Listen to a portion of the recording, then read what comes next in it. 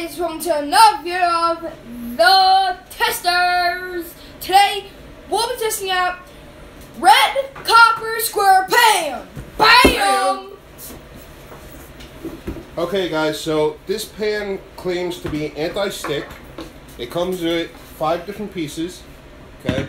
This is a steamer.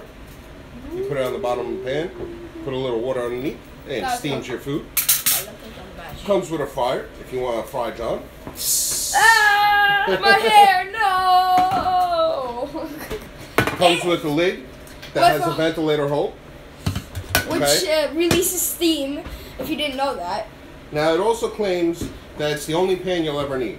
It says it broils, bakes, steams, fries, sautés, braises, deep fries, and roasts. You just got roasted. So my wife, John's mom, is gonna cook something to test and see if it sticks. Woo! All right, guys. Hey guys, so we're trying to saute here, and it's not heating up as good as our other pans. This is more boiling than sauteing. It should have like a brownish color to it. Now we do have it on a very high heat. Now it may be due to the thickness of the pan, but compared to our other pans, this is definitely not sauteing as well. All right, guys, so we're gonna try to the chicken now and see if that sticks. Now, if you can see, it, it didn't really saute. So now we'll check the non-stick. All right, guys, so we have our chicken cooking. Now, I just want to point out real quick that this side of the pot right here, do not touch. It's extremely hot. Now, the handle isn't as high. As you can see, I could grab it. And we have this on high. Now, all our other pans, we've never cooked all the way on high, and this doesn't seem to be cooking well.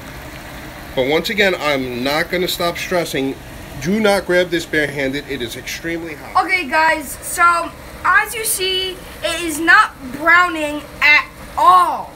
How is it supposed to fry something if it doesn't brown? I mean, like, seriously, guys. So now we're gonna put in the sauce. And I gotta mix it around. And I do not think the chicken's gonna be well. I mean, maybe it'll be grilled chicken, not like looks more like a boiled else? chicken than a than Grilled a chicken. sautéed chicken. I, I, it's not even sauteing at all. It should be browned. Guys, it should be browned.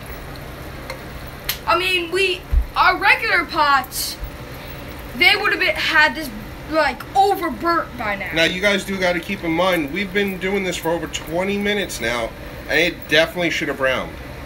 So this is more boil than anything. It's like a stew. Alright guys, so pretty much this is a Pomodoro sauce. It's definitely going to taste different because it's more braised than sauteed. And we couldn't get the heat high enough. My wife tried all different ways and it just didn't work.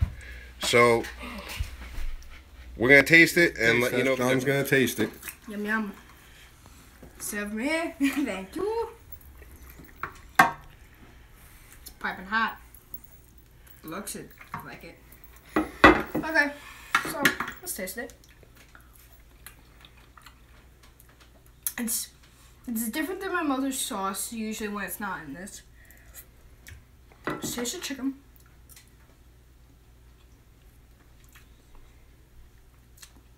The chicken is good.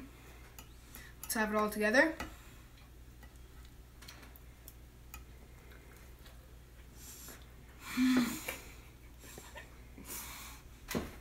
Alright guys, oh. so pretty much it did work, but not the way we like it. We are going to do other reviews on it. We're going to do a roasted chicken. We're going to do some eggs, see if it sticks.